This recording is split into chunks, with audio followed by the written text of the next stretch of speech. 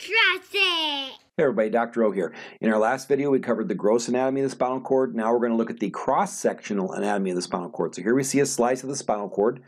Uh, right in the middle, you have the central canal, so that's going to be that, that empty canal or, or hollow canal full of cerebrospinal fluid that's continuous with the ventricles of the brain.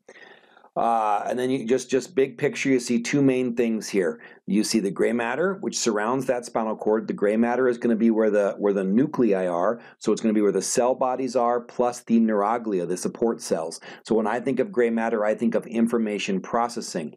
So that's going to be the gray matter. The posterior or dorsal half of the spinal cord is sensory.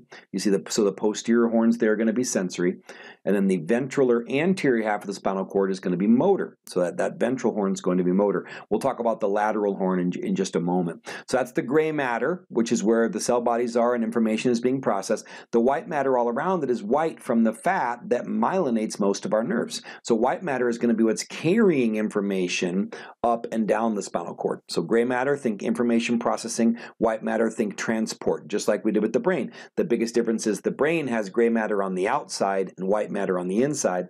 The spinal cord has this butterfly-shaped gray matter on the inside and the white matter on the outside. Uh, so here's a little more specifically what's going on. So these, you know, our cell bodies and their supportive cells are going to be grouped together in what are called nuclei.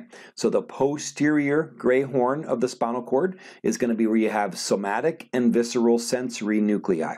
So somatic sensory information and then visceral sensory information are going to are to travel to the posterior horn of the spinal cord, and they're going to be the information is going to be traveling up the dorsal or posterior half of the white matter of the spinal cord to reach the brain if needed.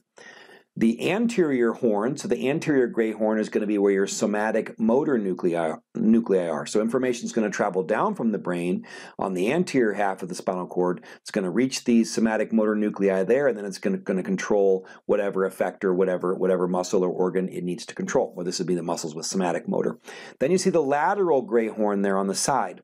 This is going to be only found in the thoracic and lumbar spine from T1 to L2, the same place your sympathetic nervous system is.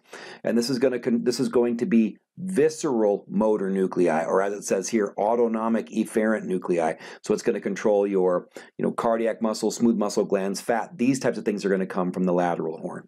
All right, so that's the cross-sectional anatomy of, of the spinal cord, and that's where all the different sensory nuclei are. Uh, now let's look. Go ahead and look at a nerve. So our spinal nerves are called mixed nerves because they're a combination of sensory and motor. So you see there the, the blue, the dorsal or posterior half of a spinal nerve is going to be sensory.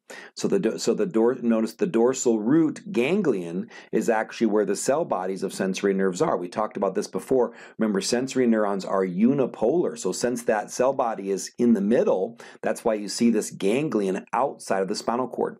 So the dorsal half of this nerve or the dorsal root is sensory and remember that the dorsal root ganglion is where the cell bodies of your sensory nerves are.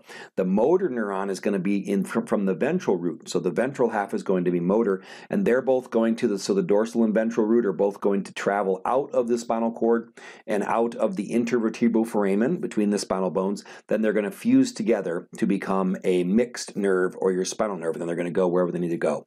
Uh, so where are the cell bodies? Hopefully you remember from earlier that motor neurons are multipolar with the cell bodies on the end. So the cell bodies of your motor neurons are actually there in the ventral root of the spinal cord. I think that's plenty for the sectional anatomy of the spinal cord. I hope this helps. Have a wonderful day. Be blessed.